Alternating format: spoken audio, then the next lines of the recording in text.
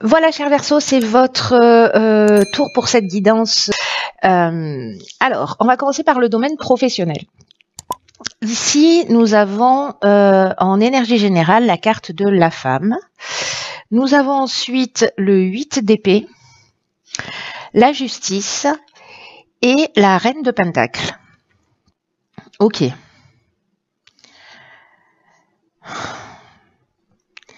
C'est pas droit. Hop. Alors, qu'est-ce que ça nous dit?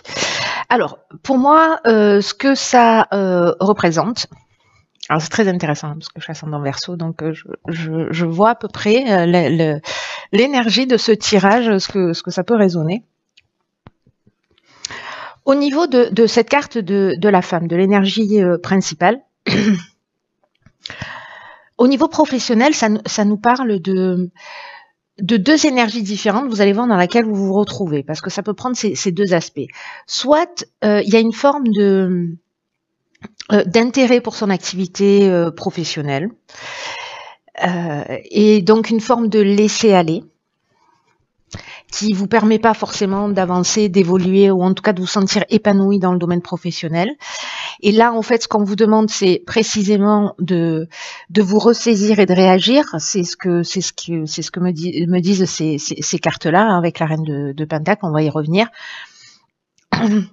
Ce que ça nous dit aussi, c'est que, euh, alors peut-être qu'il y a une, une, un, besoin de se, de se réorganiser, de réorganiser ses priorités. Euh, peut-être un besoin aussi de s'affirmer plus au niveau professionnel, c'est-à-dire euh, il y a peut-être des options qui se présentent à vous et qu'il va falloir en fait euh, euh, les saisir, voilà, pas passer à côté de ces opportunités par manque de confiance en vous, parce que vous savez pas exactement, ou vous voyez. Donc ça reste un temps. Hein, je, vous disais dans, dans, dans la vidéo qui précède, que j'allais travailler avec les, nouvelles lunes, euh, on est dans cette énergie là de la nouvelle lune euh, en Capricorne, qui nous parle en fait euh, de, de, se recentrer. Il passe rien, mais voilà, c'est en train de travailler pour que ça puisse éclore au printemps. Alors ça veut pas dire qu'il va rien se passer d'ici le printemps, mais là il y a, y, a, y a, quand même une demande de se, de se remettre. si vous êtes une femme d'aller vers, votre intériorité, voyez, d'aller vers euh, euh, vers ce qui vous correspond vraiment. Alors, soit c'est précisément reprendre votre pouvoir de femme, soit c'est une femme en face de vous qui qui euh, qui peut-être a du pouvoir sur vous avec laquelle vous êtes en conflit. Mais là, en fait, ce qu'on vous demande, c'est vous affirmer dans vos choix au niveau professionnel, parce que avec le 8 d'épée, ce que ça me dit là, ça me parle de je vous la montre de plus près, ça, me parle de restriction, euh, d'auto-sabotage, euh, d'une forme d'isolement, de vulnérabilité. Euh, peut-être on se sent entravé sur son chemin. Si vous êtes en recherche d'emploi, peut-être que vous avez de la difficulté à trouver un emploi, ou peut-être vous avez vous avez l'impression que vous manquez de choix ou d'options possibles. Alors ça peut être le cas aussi si vous êtes salarié ou si vous êtes chef d'entreprise, que vous êtes en activité peu importe le statut, mais c'est que vous avez des engagements et que bah, du coup vous vous restez dans une activité professionnelle, mais voilà qui vous convient pas forcément, qui vous épanouit pas forcément. Euh, mais voilà, vous vous sentez bloqué, un peu prise au, pris, prise au piège. Donc il y a cette idée de, manque de liberté de choix. Euh, et là, ce qu'on vous demande en fait, c'est de vous positionner. Euh, de savoir ce que vous voulez vraiment. Et justement, peut-être de prendre ce temps de méditation, ce temps de rentrer à l'intérieur de vous euh, pour pouvoir faire les bons choix et sortir en fait, parce que, vous voyez, là, elle a les yeux bandés, mais finalement, euh, elle est libre. Elle a ses épées qui sont plantées, mais elle est, elle a, voilà, elle a, elle a une possibilité d'action, sauf que elle la voit pas clairement là où ça devient vraiment intéressant, quand je fais ce lien avec cette nouvelle lune en Capricorne, c'est que précisément ce qui a à développer, c'est cette sagesse et cette clairvoyance, euh, mais en passant par ce qui, euh, en étant une mère pour soi, c'est ce que nous dit euh, cette carte de la Reine de Pentacle, de prendre soin de soi, de prendre soin de ses besoins, vraiment d'être une mère pour soi. Et ici, avec la carte de la justice qu'on a au milieu, c'est précisément de trouver un équilibre entre ses obligations, euh, ce sur quoi on doit avancer, et en même temps ses besoins. Là, j'ai l'impression qu'il y a peut-être une notion de sacrifice, ou peut-être certains d'entre vous, euh, certains ou certains d'entre vous, euh, peut-être baissent les bras.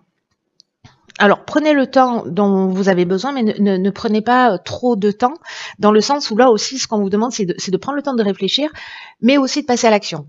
Voilà. Et pour pour pas euh, vous saboter et pour pas louper des opportunités qui vont se présenter à vous, parce que euh, en fait, ce serait vraiment dommage.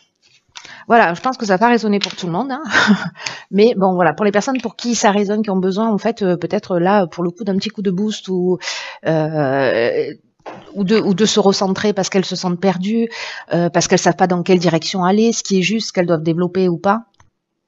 Prenez ce temps de réflexion et après posez une première pierre, commencez à poser les choses par écrit.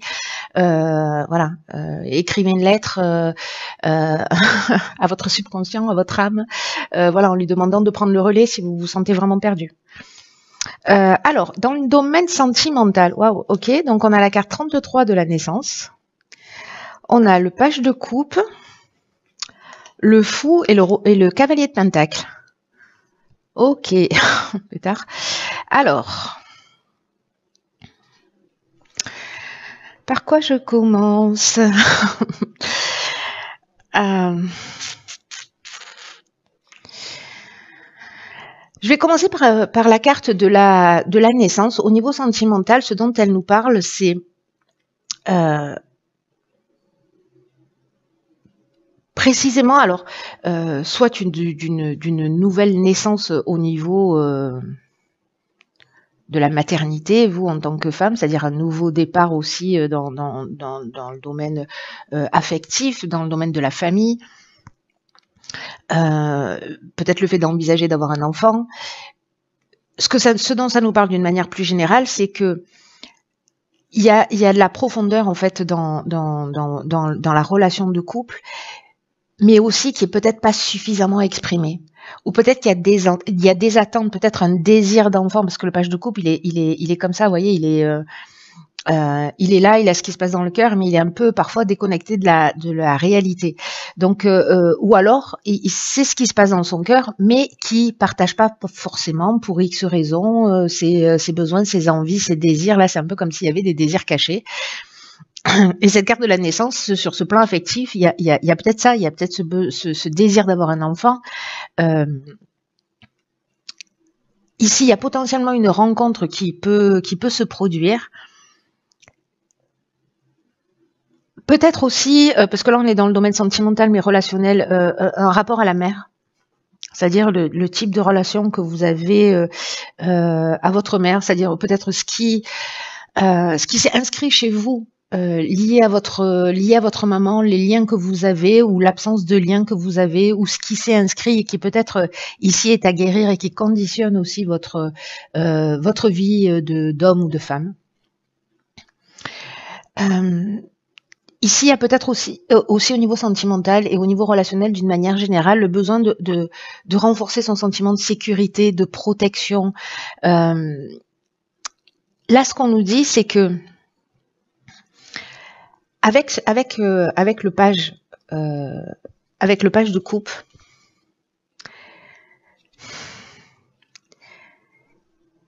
parce qu'on a le fou, on a une arcane majeure qui est pas rien parce que le fou c'est celui qui euh, c'est nous en fait, c'est nous dans notre cheminement.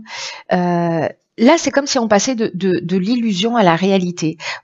Est-ce que là, justement, par rapport à, vos souhaits, à vos attentes, euh, vous allez vous, avancer en confiance dans une nouvelle relation qui se propose à vous? Parce que parce qu'encore une fois la, carte 33 elle, nous parle de ça aussi elle nous parle de nouvelles rencontres hein, de, départ de quelque chose. Alors soit c'est une rencontre soit c'est une concrétisation.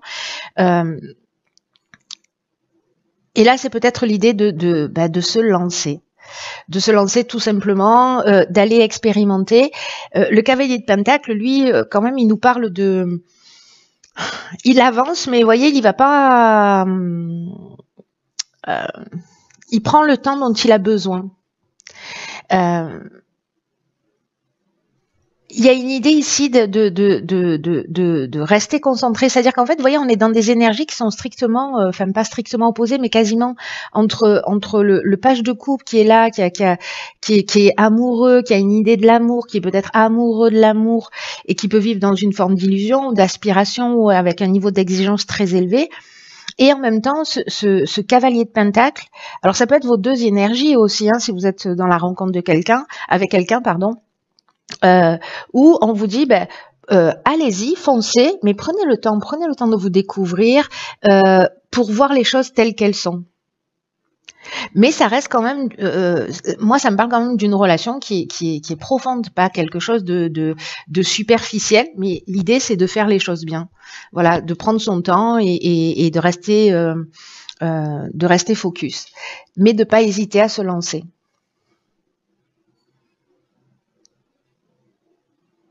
Parce que ce fou-là, il se laisse guider par la magie de la vie. On dit souvent qu'il est, euh, qu'il est, qu'il est insouciant, qu'il est inconscient, qu'il fait n'importe quoi. Euh, moi, je crois que, que parfois dans la vie, on fait n'importe quoi, mais euh, parfois on se laisse guider aussi parce qu'on a confiance dans l'existence. on se laisse guider par la magie de la vie. Et parce que dans tous les cas, on est accompagné. Donc, dans tous les cas, si s'il y a une relation qui se propose à vous, ou que si vous rencontrez euh, euh, que vous êtes en couple et que et que et que voilà que vous êtes en train de parler ou que vous avez des désirs que vous avez besoin d'exprimer, faites-le, lancez-vous euh, et, et laissez opérer en fait. Voyez, euh, laissez opérer les choses, mais je sais pas comment vous dire, je sais pas comment exprimer ça.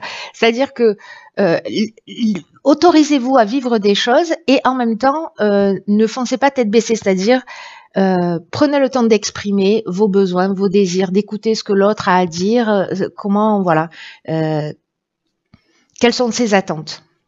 Donc il y a cette idée aussi de construire, mais en prenant son temps et en faisant les choses correctement et pas en se jetant à corps perdu dans l'action. Au niveau financier, matériel. Ok, alors, c'est intéressant. Alors là, on a trois cartes. réussite porte épée. Je crois que ça va aller sur le plan matériel. Et ici, qu'est-ce qu'on a? Euh, on a le cavalier de coupe, on a ah ben là on n'a rien. ok, euh, ben, manifestement j'ai oublié de la sortir du tarot, hop je la lève et donc du coup ben, on aura euh, deux cartes, on a le 4 de bâton. je vais peut-être en rajouter une. Il est où? Il est là. Alors, pour les versos dans le domaine financier. Bien qu'ici, on ait trois cartes. Hein. Euh, en fait, la, tendance est l'inversée par rapport euh, aux autres. Qu'est-ce que c'est? Le pape. D'accord.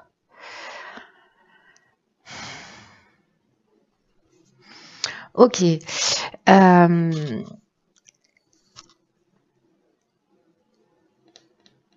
Donc là, dans le domaine financier, matériel, j'ai l'impression en fait que vous que qu'on va franchir un cap, hein, parce que la réussite, la portée, la paix, euh, il y, a, pour moi euh, une idée d'élévation, de mise en sécurité, c'est-à-dire qu'on va être rassuré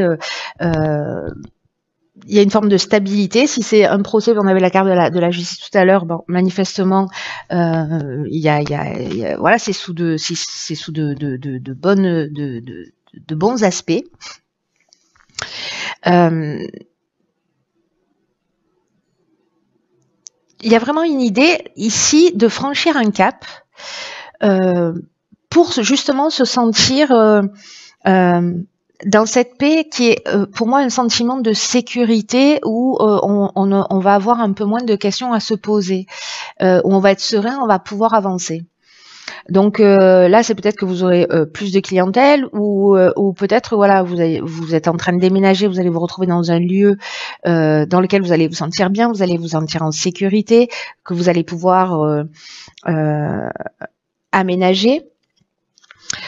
ici, qu'est-ce qu'on a? On a le cavalier de coupe et, et, le 4 de bâton. Alors, ce cavalier de coupe,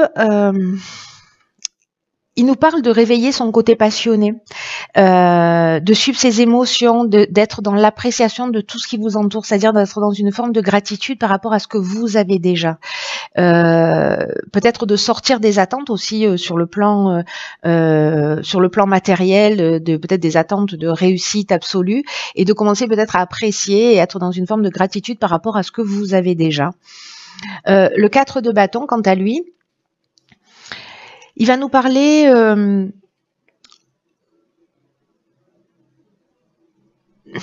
de, de faire les choses à sa manière. Euh, il peut y avoir une idée de, précipitation aussi, hein, euh, parce que lui, euh, autant lui, il est tranquille, calme, il, voilà, autant là, regardez, il est vraiment à fond la caisse. Donc il peut y avoir une idée, il peut y avoir une idée de se précipiter ou d'être euh, vers une destination, c'est-à-dire que vous allez euh, euh, peut-être parce que vous avez ce sentiment de sécurité ou parce que vraiment vous allez mettre en œuvre les choses d'une manière passionnée pour pour acquérir ce sentiment de sécurité. Peut-être parce qu'au niveau professionnel, à un moment donné, vous aurez réagi, vous aurez dit bon là je, je laisse pas se laisser aller, je reste pas dans cette situation et donc en fait je vais prendre les choses en main et du coup ça a des conséquences de fait. Avec le pape on est, euh, euh, il y a une idée de, pour moi, d'enseignement, c'est-à-dire de comprendre, euh, de recevoir en fait de la connaissance, c'est-à-dire de, comprendre le schéma peut-être de réussite, de comprendre ce dont vous avez besoin exactement.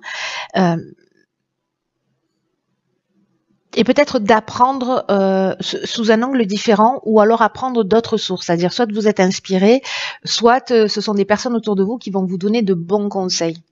Voilà. Voilà pour le domaine professionnel. Ensuite, au niveau... Je vais faire ça comme ça, voilà.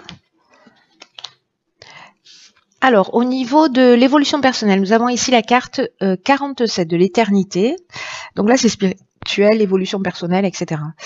Ici, nous avons l'arcane sans nom.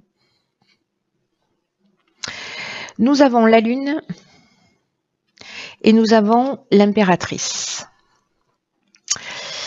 Ok.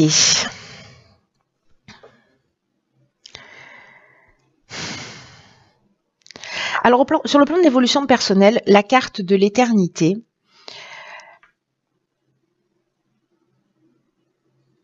elle va nous parler en fait de, euh, convictions qui, qui, qui, vont être euh, qui vont être renforcées euh, liées à des prises de conscience que vous allez faire. Peut-être qu'il y a des aspects ici avec la lune qui n'étaient pas forcément très clairs. Vous saviez pas exactement. Il y avait, un, défaut de compréhension il y avait une forme d'obscurité là autour de vous, euh, peut-être pour avancer, vous dites ah ok je comprends pas pourquoi pourquoi ceci, pourquoi je vis ça, pourquoi voilà où est-ce que j'en suis exactement dans mon chemin. Euh, mais là ce qu'on vous dit c'est que vous êtes vraiment connecté avec cette carte de l'éternité, euh, avec quelque chose de plus grand que vous.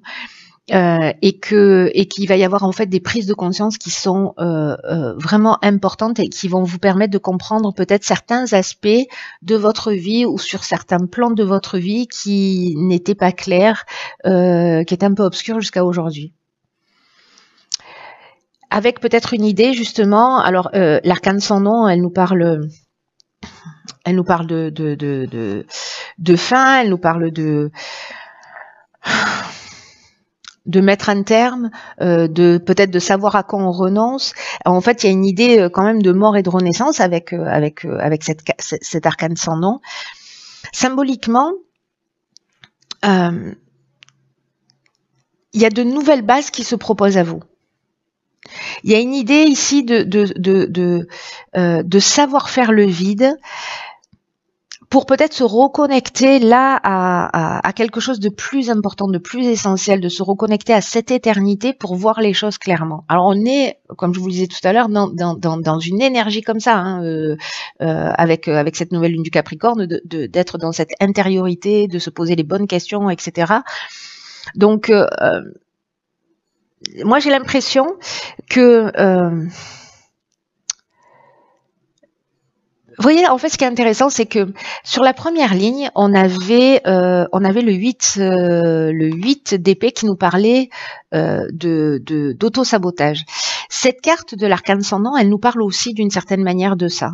il y a une idée quand elle n'est pas très bien vécue de, de, de, déni de soi, de déni de ses capacités, euh, parce qu'elle n'a pas de nom cette arcane ascendant. Vous voyez, donc euh, euh, il y a une idée de se sentir sans identité et sans connaître réellement sa voix. Ça, c'est quand c'est pas très bien vécu, mais aussi avec ce sentiment euh, d'autodestruction ou de rester absolument accroché au passé parce que la situation, finalement, euh, c'est notre zone de confort, elle est confortable, euh, on n'y vit pas bien, on ne s'y épanouit pas. Euh, mais au moins on connaît euh, tous les coins et les recoins de cette situation. Euh, là, c'est l'idée, je pense qu'il y, y, y a, vraiment une occasion, il y a des prises de conscience qui vont se faire et peut-être lié à votre enfance, c'est ce qu'on a vu aussi tout à l'heure, peut-être lié à votre à votre à votre maman. de reposer de nouvelles bases et de et de et de recréer en fait votre identité, de se de vous renommer, avec une idée aussi de, de, de, de cette capacité en fait à, à, à vraiment euh, faire le vide. Avec la Lune, euh, vous pouvez passer par une période justement euh, peut-être de déséquilibre ou de peur. Euh, mais on, tout ça, on est dans le monde de l'inconscient, vous voyez. Donc il y a vraiment ici une occasion de, de, voir les choses clairement, de crever des abcès, euh, de nettoyer les eaux profondes. Avec une idée d'accueillir aussi sa part d'ombre, d'accueillir sa part de responsabilité et donc de se guérir. Et euh, ça nous emmène, euh, parce que ici il y a une connexion avec quelque chose de plus grand. Donc tout ce qui est en train de vous arriver là au niveau de votre évolution personnelle, au niveau spirituel, euh, évidemment c'est écrit. Et ça arrive, euh, croyez-moi sur parole, ça arrive vraiment euh, d'une manière, euh, c'est, en ce moment, c'est, juste la folie, hein, mais c'est, génial, hein, parce que du coup, on, voilà, on passe pas à côté, c'est des 4 par 3 qui clignotent. Et là, je crois qu'en fait, il y a quelque chose de cet ordre-là qui est aussi en train de se jouer.